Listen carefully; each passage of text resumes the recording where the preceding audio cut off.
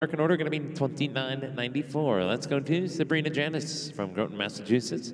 Sabrina's on Cruize, the 2012 gelding by RL Best of Sudden out of Vested Vixen, draw nine.